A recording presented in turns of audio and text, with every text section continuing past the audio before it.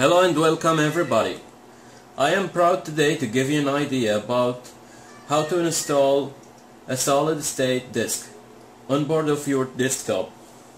The SSD we will use today is Kingston 100 gigabytes which exactly meets my needs. It cost me exactly 100 bucks and we are ready to unbox this piece of a charger out.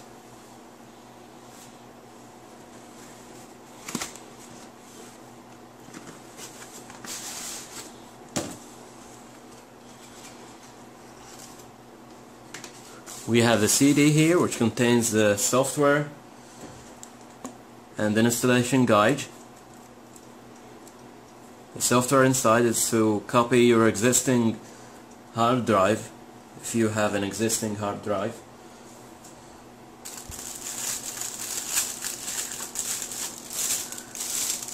We have a holder here for mounting your your new drive in your desktop you will have to use this piece.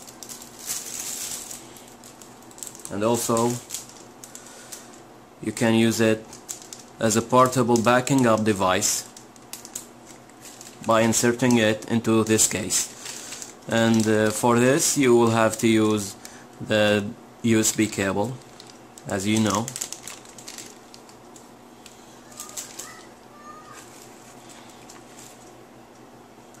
and you will need this SATA cable for installing your device and connecting it to your uh, main board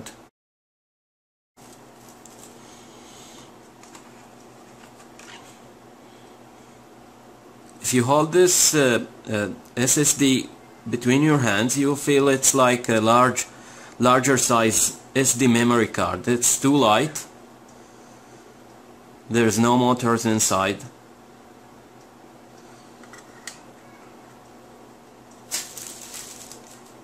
the screws for mounting it. And this converter if you don't have uh, uh, power input SATA power input coming out of your power supply unit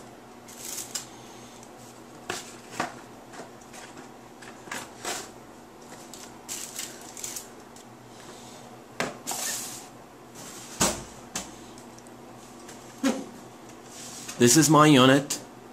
It's HP Elite i7 core processor unit. And for installing the SSD inside, we will have to unlock this manual lock here. Just pull back this cover.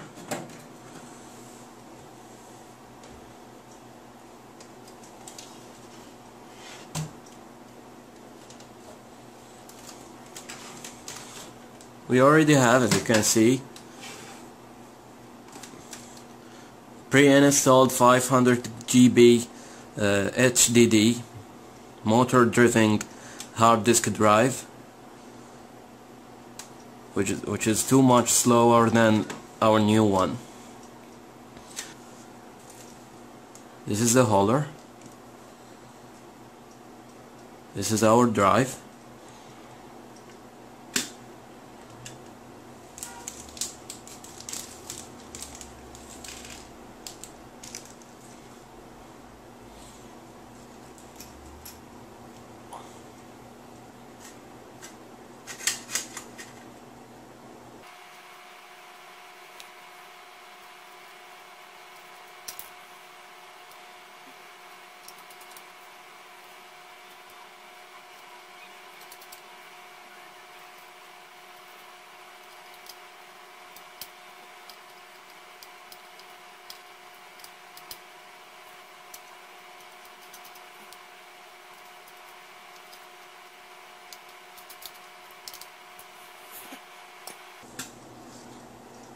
We'll keep this aside for now.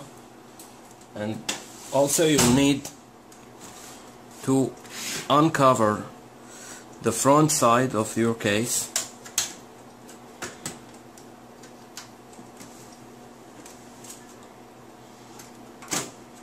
Because we will use one of the empty trays the diskette trays and I think the best one for our case is the floppy disk tray here. And we will have also to break this cover here this gate using a screwdriver.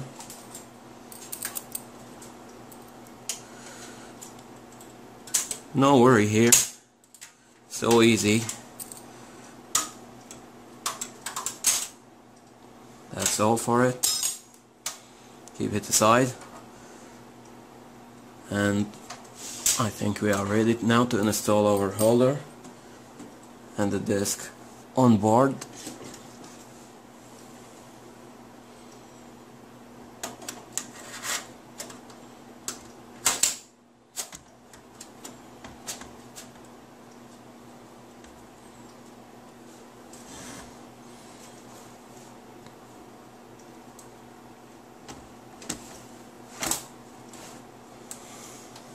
you keep pushing it forward and backward until you get these holes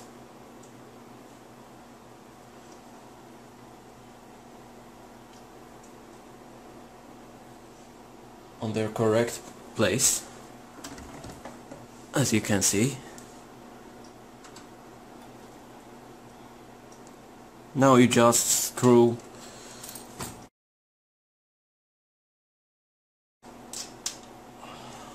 to get your holder fixed.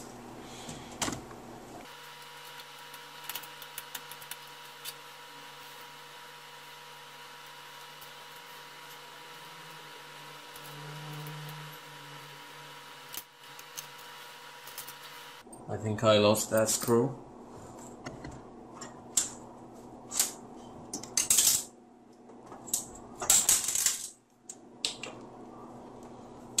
Alright.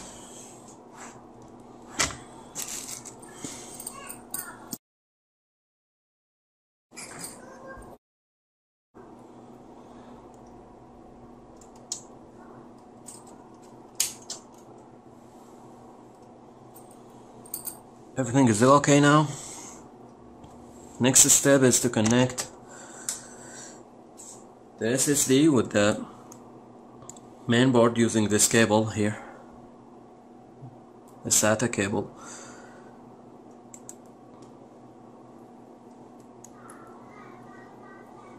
As you can see,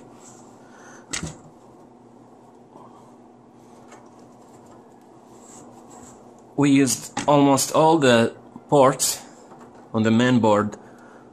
This one, this blue one here and the white one next to it for the pre-installed hard drive. And, and also the DVD writer is using the third one here. But the orange one, the fourth one is empty and really nice to use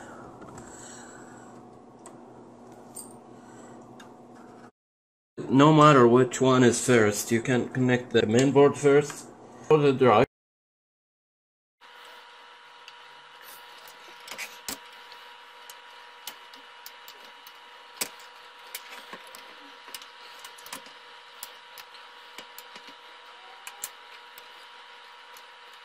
Okay,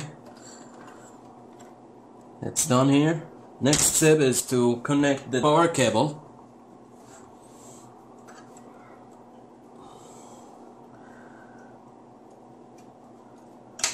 Here it is.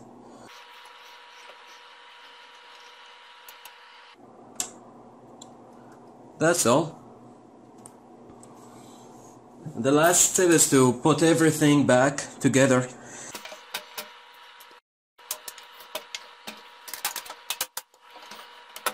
The main cover. We slide it like this way.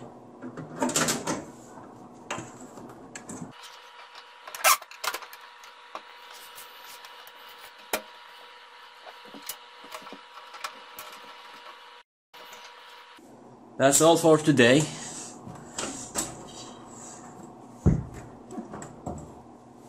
I hope you enjoyed my show and don't forget to like and subscribe to my channel uh, 7asibAli.net. Bye bye.